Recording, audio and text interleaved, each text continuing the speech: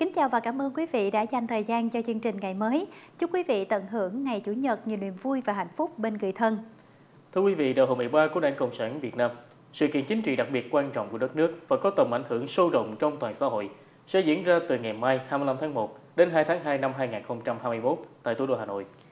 Các bước chuẩn bị cho đại hội đã hoàn tất. Gõ cửa ngày mới hôm nay sẽ đề cập cụ thể hơn về công tác chuẩn bị tại đại hội 13 của Đảng Cộng sản Việt Nam. Trong chương trình, chúng tôi cũng giới thiệu đến quý vị về người cựu chiến binh gương mẫu hiến đức làm đường giao thông ở xã Bầu Chinh, huyện Châu Đức.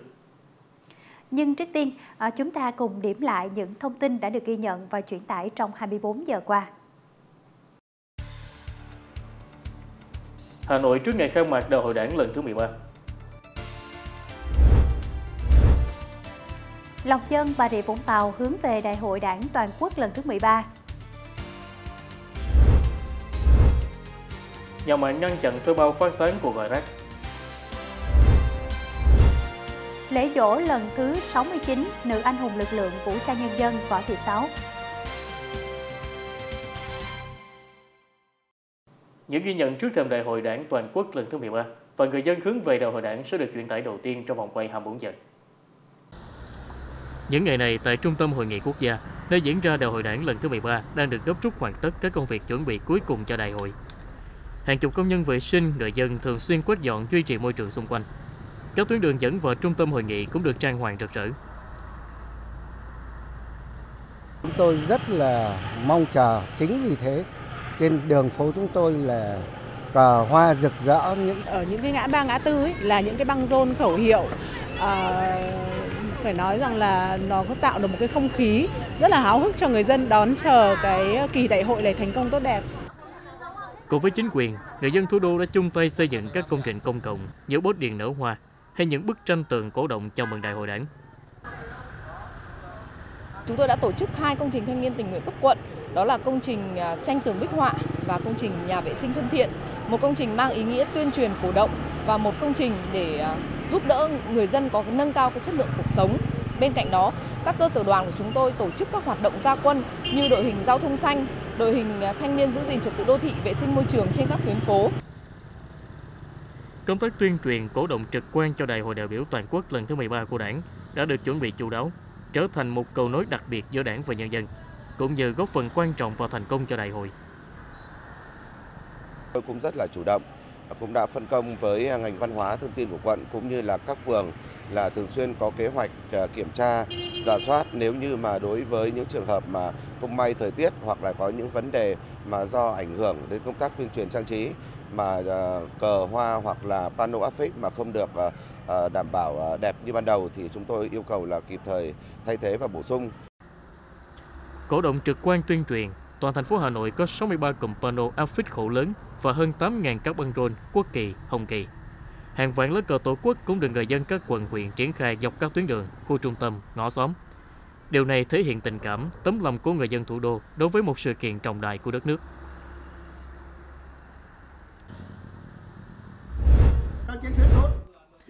cụ Hoàng Ngọc, 84 năm tuổi đời, 55 năm tuổi đảng, là một trong những đảng viên cao tuổi nhất thôn Tân Lập, xã Tân trầu. Từ nhiều ngày nay, tạm gác công việc đang lát hàng ngày, cụ Ngọc dành sự quan tâm đặc biệt để nghiên cứu dự thảo văn kiện đại hội, thường xuyên theo dõi các thông tin liên quan đến Đại hội Đảng toàn quốc lần thứ 13 sắp diễn ra. Đại hội Đảng 13 này là chúng tôi chú ý theo dõi từng ly từng tí. Lần này tôi nghe thì tôi thấy sung sướng lắm. Tôi rất mong là đại hội này lần này là sẽ chọn được những người đặc biệt và bộ chính trị vào trung ương để mà lãnh đạo đất nước ta theo đường lối uh, xây dựng của chủ nghĩa xã hội của bác hồ tức là theo tư tưởng chủ tịch hồ chí minh đấy. Thế làm sao cho dân giàu nước mạnh dân chủ công bằng văn minh. Trong mỗi kỳ đại hội toàn quốc của đảng cán bộ đảng viên các tầng lớp nhân dân của tỉnh tuyên quang luôn đặt kỳ vọng vào những quyết sách đúng đắn mạnh mẽ của đảng để đất nước phát triển nhanh và bền vững hơn. Mong muốn là để cho là sau sắp tới này đại hội xong là cố gắng làm sao là công tác lãnh chỉ đạo à, cho cả nước chúng ta được cái thứ nhất là về cái, cái phát triển kinh tế à, về cái nguồn thu nhập nói chung mặt bằng nói chung của cả nước Đấy, thì cái này thì bà con với nhân dân nước mạnh thì dân dân giàu thì nước mạnh cái thứ hai nữa dân sẽ được hưởng lợi về tất cả mọi thứ trong mọi mặt trong cuộc sống cuộc sống an sinh xã hội. Phát huy truyền thống quê hương cách mạng, lập thành tích chào mừng Đại hội Đảng toàn quốc lần thứ 13. Nhân dân các dân tộc xã Tân Trào đang hăng hái thi đua lao động sản xuất, chuyển đổi cơ cấu cây trồng vật nuôi, đưa những giống cây còn mới năng suất cao vào sản xuất, phát triển kinh tế. Năm 2020, thu nhập bình quân đầu người ở Tân Trào đạt 35,5 triệu đồng một người một năm. Tỷ lệ hộ nghèo giảm còn 2,3%. À, lập nhiều cái thành tích để chào mừng Đại hội đại biểu à, toàn quốc lần thứ 13 của Đảng. Đảng bộ đã ra nghị quyết à, phát hiện phát triển kinh tế xã hội trong 5 năm nhiệm kỳ 2020-2025 mà cụ thể ở đây là phấn đấu là đưa xã Tân Trào đạt chuẩn nông thôn mới nâng cao vào năm 2025. Cùng với nhân dân cả nước, nhân dân các dân tộc tỉnh Tuyên Quang hướng về Đại hội Đảng toàn quốc lần thứ 13 với niềm tin và trách nhiệm lớn lao, phấn đấu hoàn thành mục tiêu và các kế hoạch đề ra.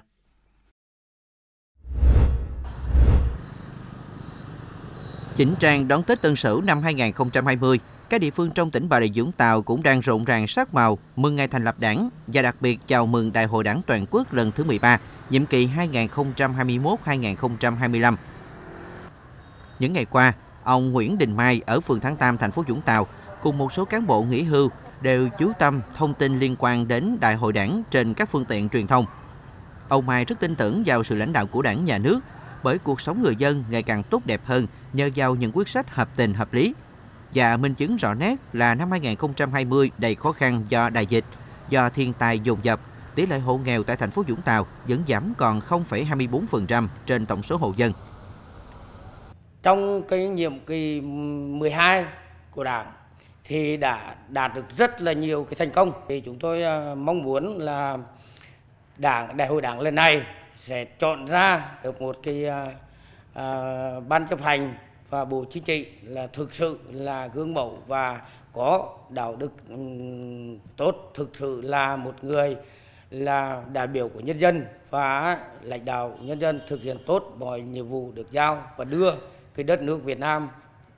lên được tầm cao mới. Ông Đinh Quang Tiễn, Bí thư chi bộ 2, Đảng bộ phường 7, quan tâm đến công tác chuẩn bị nhân sự cho đại hội lần thứ 13 của Đảng. Bởi theo ông, trong bối cảnh hiện nay, Việt Nam hội nhập ngày càng sâu rộng, cơ hội lẫn thử thách đều rất lớn. Đất nước cần có đội ngũ lãnh đạo đủ tầm, đủ tâm để đưa Việt Nam phát triển vững mạnh. Nhân sự lần này tôi thấy là 1.500 bao nhiêu đại biểu ở thì có ba đại biểu là hơn 70 tuổi, đại biểu trẻ nhất là 34 tuổi đúng không ạ thế còn cái độ tuổi từ 50 đến dưới 60 là phần phần phần, phần lớn và cái độ tuổi đó đang là cái độ tuổi mà phải gánh vác cái trọng trách của xã hội. Cái, cái, cái độ tuổi mà từ 35 đến 60 ấy. Và trong đó có hơn một ngàn đại biểu là có trình độ từ thạc sĩ trở lên đúng không ạ? Chưa bao giờ tôi thấy mà có cái lần đại hội mà có cái chất lượng đại biểu cao như vậy. Ờ, và tôi vậy vì tôi nghĩ như vậy thì có nghĩa là cái cái thành công là cái điều chắc chắn quan tâm đến đại hội đảng có mọi thành phần và các doanh nhân cũng dành nhiều thời gian theo dõi diễn tiến chuẩn bị đại hội. Với tư cách là một đảng viên, cũng là một doanh nhân trong cái cộng đồng doanh nhân trẻ, thì tôi cũng mong muốn rằng thông qua cái đại hội à, lần này cần có những cái à, chính sách đặc thù đối với những cái à, doanh nghiệp đặc thù để giúp cho các cái doanh nghiệp vừa và nhỏ mà nằm trong những cái cái cái cái ngành nghề kinh doanh trọng yếu kinh tế của đất nước ví dụ như là những ngành nghề à, công nghiệp không khói như là à, du lịch rồi à, đào tạo rồi nhà hàng khách sạn hàng không vân vân để cùng kéo à, nền kinh tế đất nước chúng ta vượt qua giai đoạn khó khăn này. Mỗi người theo hoàn cảnh công việc quan tâm đến đại hội đảng ở những khía cạnh khác nhau nhưng tất cả đều có chung kỳ vọng. Đại hội lần thứ 13 tiếp tục có quyết sách nâng tầm vị thế quốc gia, dân tộc, nâng cao hơn nữa chất lượng cuộc sống cho đại bộ phận người dân ở giai đoạn mới. Đúng với phương châm đại hội là đoàn kết, dân chủ, kỷ cương, sáng tạo, phát triển.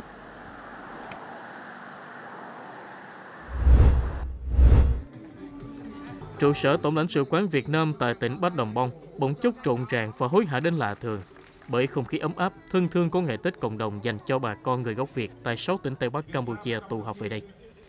Trong không khí hân hoan,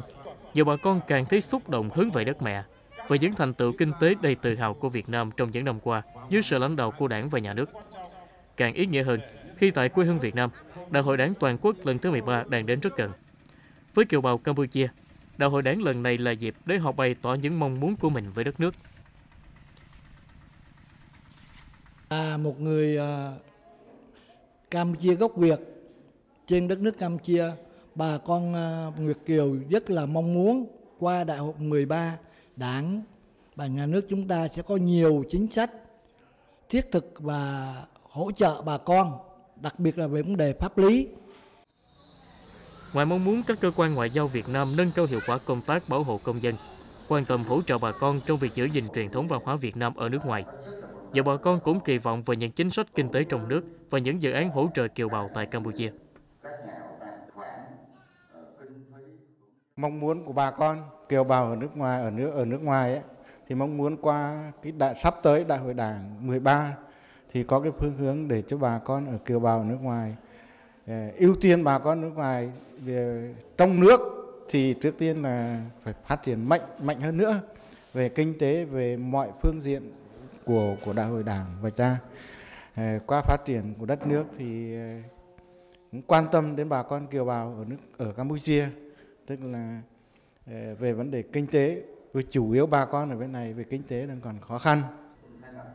Kiều bào tại Campuchia luôn mong muốn sau đại hội 13, đảng có được những tham mưu đề xuất để đưa ra thêm những chủ trương chính sách thiết thực và hiệu quả nhằm tạo điều kiện cho bà con kiều bào và doanh nghiệp tiếp tục làm ăn, sinh sống tại nước sở tại. Để kiều bào mãi mãi là một bộ phận máu thịt không thể tách rời của khối đại đoàn kết toàn dân tộc.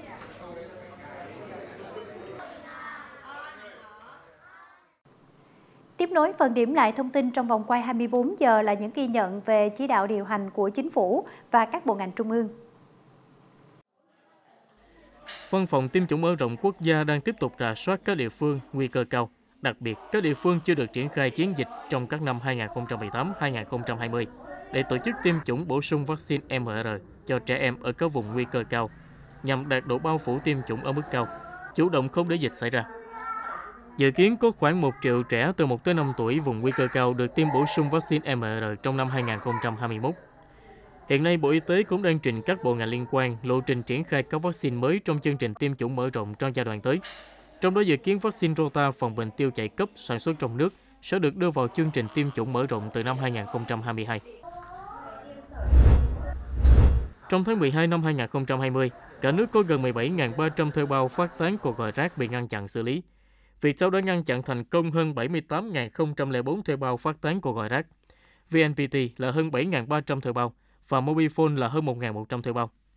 Như vậy, trong 6 tháng cuối năm 2020, các nhà mạng đã ngăn chặn được tổng cộng gần 90.000 thuê bao phát tán cuộc gọi rác.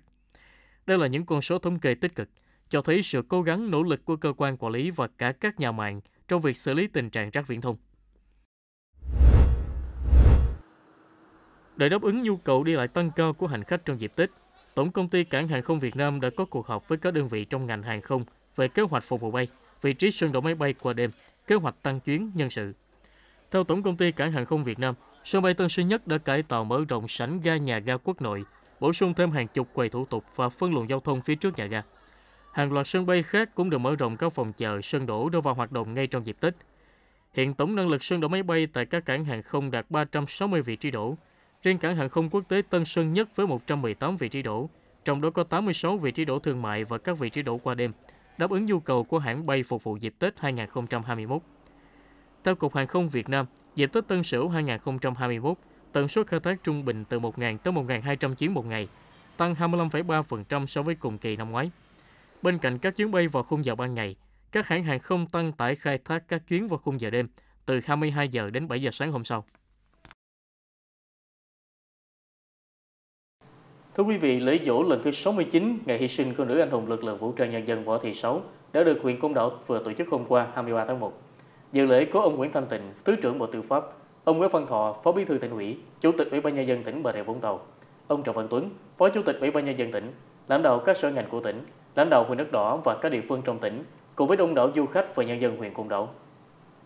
Mời các đoàn vào dân lễ. Hàng năm, lễ dỗ nữ anh hùng lực lượng vũ trang nhân dân Võ Thị Sáu được huyện Côn Đảo tổ chức trang trọng thể hiện đạo lý đền ơn đáp nghĩa của đảng bộ chính quyền, quân và dân huyện Côn Đảo đối với người con gái kiên trung, bất khuất đã hy sinh cho hòa bình, độc lập dân tộc. Tổ chức chú đáo, đàng hoàng mà bố trí phù hợp. Đây là hoạt động mà rất là bổ ích giúp chúng tôi ờ, nhớ về cội nguồn của mình, tuổi trẻ Côn Đảo thì sẽ cố gắng hết sức mình phấn đấu ra sức học tập à, sáng tạo và phát huy sức trẻ để à, góp phần đưa huyện nhà cũng như là đưa đất nước ngày càng phát triển. Tham dự lễ dỗ anh hùng lực lượng vũ trang nhân dân Võ Thị Sáu có rất nhiều du khách đến từ các tỉnh thành cả nước. Nhiều người rất xúc động khi trực tiếp thắp nén nhang lên phượng mộ đúng vào ngày dỗ của người nữ anh hùng. Tinh thần chiến đấu, sự hy sinh quả cảm của nữ anh hùng Võ Thị Sáu mãi mãi in đậm trong lòng nhiều thế hệ Việt Nam và nhất là trong lòng người dân Côn Đảo. Từ một anh hùng liệt sĩ, Võ Thị Sáu đã trở thành thần hộ mệnh của nhân dân địa phương. Lễ dỗ của người nữ anh hùng còn là dịp để du khách gần xa có thêm trải nghiệm về văn hóa tín ngưỡng trên đảo Thiên.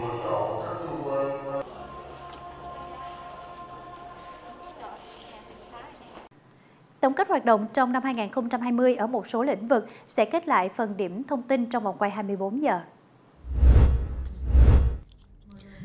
Công đoàn ngành xây dựng hiện có 30 công đoàn cơ sở trực thuộc với 2.750 đoàn viên. Trong 3 năm qua, việc làm của công nhân viên chức lao động ngành xây dựng tương đối ổn định. Tiền lương và thu nhập của người lao động đều tăng so với những năm trước. Hàng năm, 100% doanh nghiệp nhà nước và 95% doanh nghiệp ngoài nhà nước tổ chức hội nghị người cao tuổi. Đến nay, 19 trên 24 doanh nghiệp ngoài nhà nước có thỏa ước lao động, đạt tỷ lệ 80%. Trong các dịp lễ Tết, tháng công nhân hàng năm, các công đoàn cơ sở đã phối hợp với người sử dụng lao động tổ chức thăm tặng quà, trợ cấp khó khăn cho gần 480 lượt công nhân viên chức lao động có hoàn cảnh khó khăn với số tiền 960 triệu đồng. Trong phong trào lao động giỏi, lao động sáng tạo, toàn ngành đã có 6 công trình đăng ký thi đua với giá trị 450 tỷ đồng và đến nay có 2 công trình đã hoàn thành trước 450 ngày, tiết kiệm và làm lợi 86 tỷ đồng. Trong những năm còn lại của nhiệm kỳ 2018-2023, hoạt động công đoàn ngành xây dựng tập trung xây dựng mối quan hệ lao động hài hòa trong doanh nghiệp, đồng thời đẩy mạnh hoạt động trợ vốn cho công nhân viên chức lao động từ các quỹ trợ vốn, quỹ quốc gia giải quyết việc làm, tạo điều kiện cho người lao động tăng thu nhập, cải thiện chất lượng cuộc sống. Từ năm 2019 đến nay, đoàn luật sư tỉnh Bà Rịa Vũng Tàu đã tham gia đóng góp ý kiến 20 dự án luật, tư vấn pháp luật thường xuyên cho gần 160 vụ, tư vấn pháp luật theo vụ việc cho gần 240 vụ, trợ giúp pháp lý miễn phí cho gần 210 vụ, vận động 200 triệu đồng để tổ chức các hoạt động thiện nguyện xã hội và đóng góp cho công tác phòng chống dịch COVID-19. Đoàn luật sư tỉnh sẽ tiếp tục phối hợp chặt chẽ với các cơ quan quản lý nhà nước trong quản lý luật sư và hành nghề luật sư, tập trung bảo vệ quyền và lợi ích hợp pháp cho luật sư trong hành nghề, đẩy mạnh phát triển đội ngũ luật sư nhằm đáp ứng yêu cầu về số lượng và chất lượng dịch vụ tư vấn pháp luật. Năm 2020, đoàn thẩm định của tỉnh chấm điểm Trung tâm Kiểm soát Bệnh tật tỉnh Bà Rịa Vũng Tàu gọi tắt là CDC đạt đơn vị hạng nhì. Các hoạt động của trung tâm đều được duy trì đạt chuẩn quốc gia về lĩnh vực y tế dự phòng. Công tác tài chính thực hiện đúng quy định, đáp ứng kịp thời cho công tác chuyên môn. Năm 2021, trung tâm tiếp tục ổn định công tác nhân sự, chủ động dự báo, xây dựng kế hoạch phòng chống dịch nói chung và dịch COVID-19 nói riêng, đẩy mạnh hoạt động phòng chống bệnh không lây nhiễm.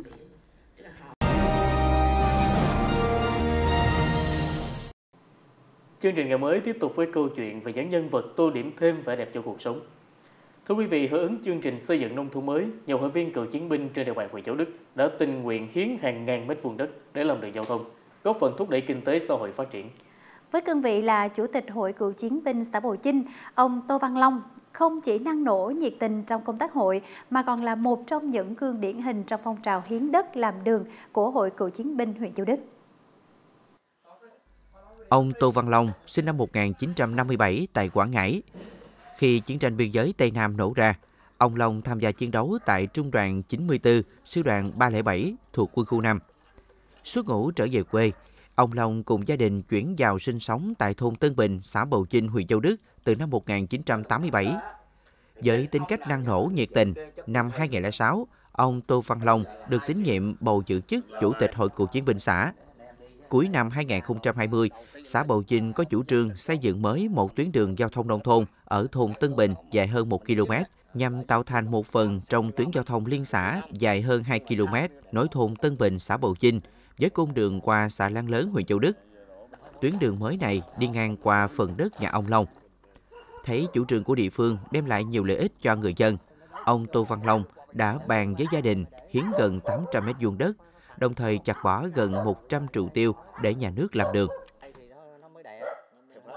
Đường à, là cũng một cái tiêu chí lớn trong cái chương trình xây dựng nông thôn mới. Từ chỗ đó cho nên là vừa là mình là làm gương mẫu cho là toàn bộ anh em trong cựu chiến binh của xã nhà, tức là mình phải hiến đất đầu tiên để làm à, là là là, là cũng như là một cái chỗ để là cho nhân rộng ra cái mô hình của cựu chiến binh hiến đất làm đường. Ừ, cho nên à, thực hiện cái tiêu chí này thì nói cho đúng là coi như bà con rồi kể cả các anh em trong hậu viên cũng rất là đồng tình hưởng ứng. Cùng nơi cựu chiến binh Tô Văn Long sinh sống, hơn 10 hộ dân ban đầu không ủng hộ việc hiến đất làm đường, nhưng trước sự gương mẫu của ông Long, mọi người dần hiểu được lợi ích của việc hình thành tuyến đường mới này, nên cùng góp công sức hiến hàng ngàn mét vuông đất, hàng trăm nọc tiêu và nhiều loại cây trồng hoa màu khác mà không đòi hỏi quyền lợi gì. Chú Lam là một cựu chiến binh gương mẫu, À, đi đầu trong cái, cái, cái công tác của của cựu chiến binh xã nhà. Cụ thể là ví dụ như là có cái gì tuyên truyền vận động để cho cựu chiến binh hội viên đồ biết để cho nó cho nó có thông suốt theo cái đường lối chính sách của cựu chiến binh à, cấp, cấp trung ương hoặc là đường lối của đảng. Chúng tôi nói chung là chiều trưởng kết hợp với ban ngành đoàn thể tức là đi vận động từng hộ viên ở từng à, gia đình thì trong đó có hội viên nhưng đứng đầu vẫn là hội viên cựu chiến binh là xung phong trước rồi sau đến nhân dân cùng theo nói chung là cũng tương đối hoàn chỉnh còn cái bước hai đó là bước bắt đầu làm đường thì cái đó thì ờ, do ở trên sắp xếp Ngoài việc vận động người dân hiến đất làm đường, với cương vị là Chủ tịch Hội Cựu chiến binh xã Bầu Chinh, ông Long cùng tổ chức hội còn vận động xây dựng quỹ hội được gần 300 triệu đồng, giúp trên 20 hội viên của chiến binh có nguồn vốn dây phát triển sản xuất.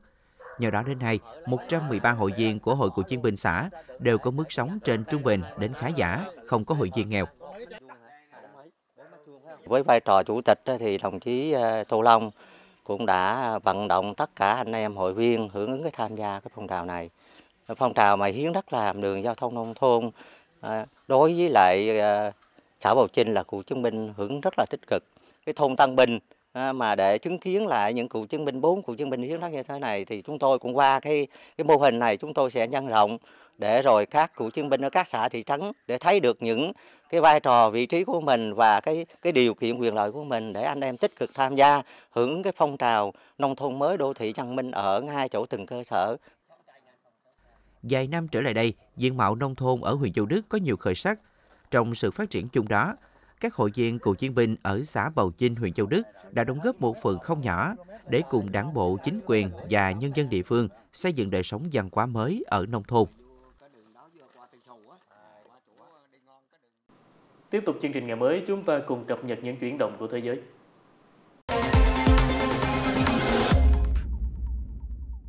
Mời quý vị tiếp tục cập nhật thông tin được chúng tôi cập nhật từ các trang báo. Thưa quý vị, thông tin được nhiều trang báo đề cập hôm nay và dư luận cũng rất quan tâm liên quan đến việc lùi thời gian quyết toán thuế thu nhập cá nhân năm 2020. Phóng viên báo Thanh niên thông tin trong bài viết của mình, theo luật quản lý thuế sửa đổi, hạn quyết toán thuế thu nhập cá nhân do tổ chức doanh nghiệp người nộp thuế chi trả thu nhập được ủy quyền là ngày 31 tháng 3. Còn đối với cá nhân trực tiếp quyết toán thuế với cơ quan thuế, thời hạn quyết toán được kéo dài thêm một tháng đến ngày 30 tháng 4. Về mức giảm trừ gia cảnh đối với người nộp thuế, Tổng cục Thuế sẽ áp dụng theo mức mà Nghị quyết 954 của Quốc hội ban hành là 11 triệu đồng một tháng đối với người nộp thuế và người phụ thuộc là 4,4 triệu đồng một tháng. Mức giảm trừ này được thực hiện từ ngày 1 tháng 7 năm 2020 và tính trong kỳ quyết toán thuế thu nhập cá nhân năm 2020.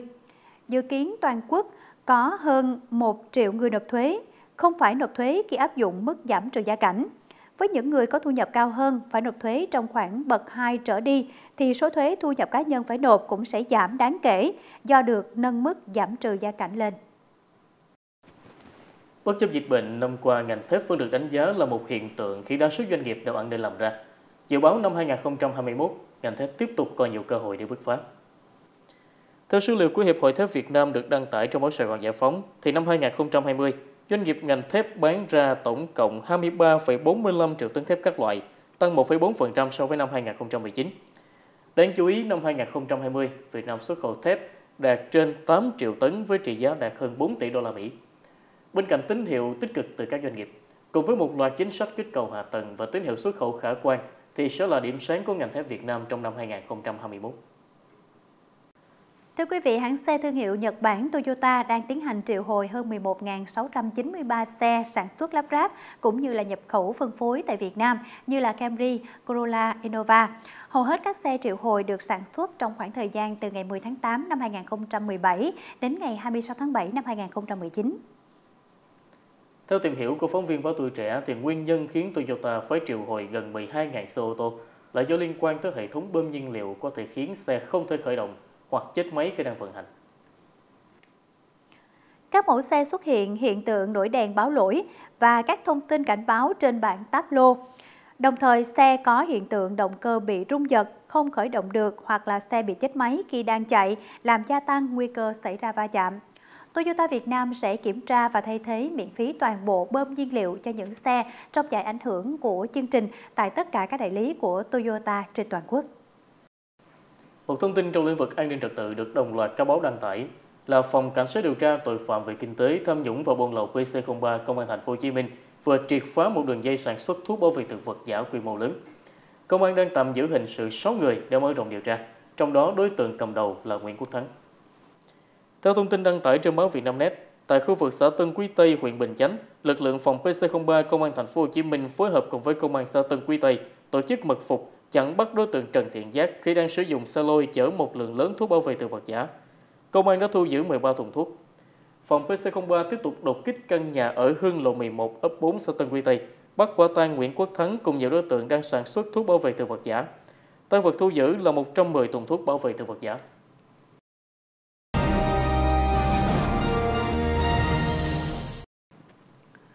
Thưa quý vị, Đại hội 13 của Đảng Cộng sản Việt Nam, sự kiện chính trị đặc biệt quan trọng của đất nước và có tầm ảnh hưởng sâu rộng trong toàn xã hội sẽ diễn ra từ ngày mai 25 tháng 1 đến ngày 2 tháng 2 năm 2021 tại thủ đô Hà Nội. Có bước chuẩn bị cho đại hội đã hoàn tất. Xoay quanh nội dung này thì trong gõ cửa ngày mới, ông Nguyễn Đắc Vinh, Phó Chánh Văn phòng Trung ương Đảng sẽ chia sẻ thông tin.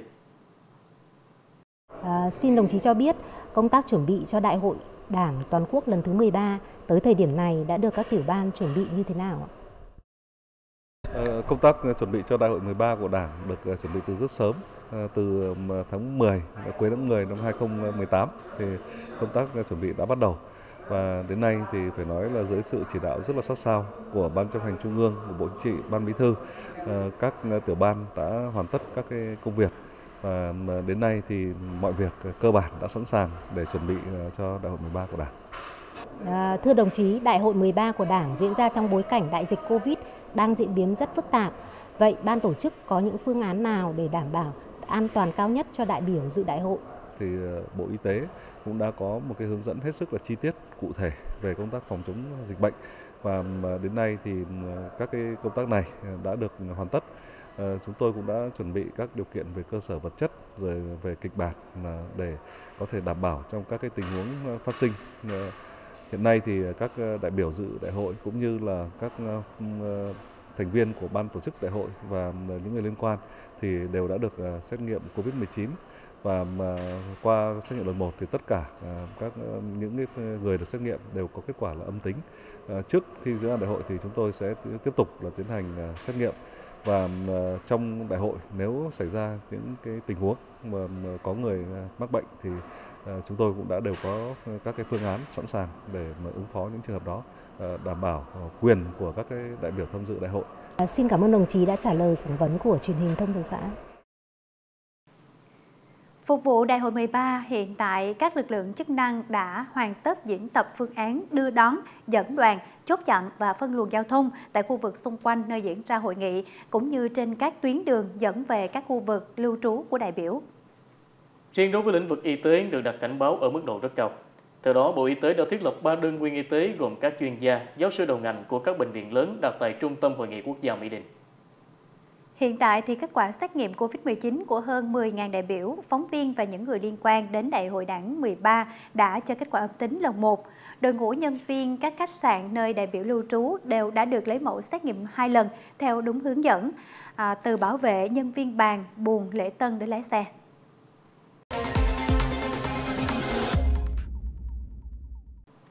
Thông tin về thị trường một số loại nông sản sẽ tiếp tục chương trình ngày mới sáng nay.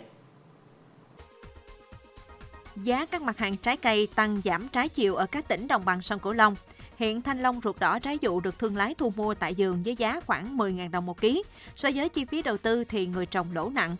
Trong khi đó, giá mít giống Thái tại thành phố Cần Thơ và các tỉnh Vĩnh Long, Hậu Giang, Tiền Giang, Bến Tre có xu hướng tăng. Mít Thái loại 1 trọng lượng 9 kg trở lên được nông dân bán ở mức 23 đến 24 000 đồng một ký. Loại 2 từ 7 đến 9 kg một trái có giá là 18 đến 20 000 đồng một ký. Mít loại 3 từ 5 đến 7 kg một trái có giá là 15 đến 16 000 đồng một ký. Giá tiêu hôm nay tăng 500 đồng một ký tại các vùng trồng trọng điểm. Ở tỉnh Đắk Lắk, Đắk Nông, giá tiêu được thu mua ở mức 51.500 đồng một ký. Giá tiêu ở tỉnh Gia Lai ở mức 50.500 đồng một ký. Còn tại tỉnh Bà Rịa Vũng Tàu, giá tiêu là 53.000 đồng một ký. Giá cà phê tại các vùng trồng trọng điểm đang giảm trung bình 200 đến 300 đồng một ký. Tại Lâm Đồng, giá cà phê hôm nay được thu mua với mức 30.800 đồng một ký. Tại Đắk Lắk là 31.200 đồng một ký. Và tại Đắk Nông, Gia Lai có cùng mức giá là 31.100 đồng một ký. Phần cuối chương trình ngày mới mời quý vị cập nhật những thông tin dự báo thời tiết trong ngày hôm nay tại Bà Rịa Vũng Tàu.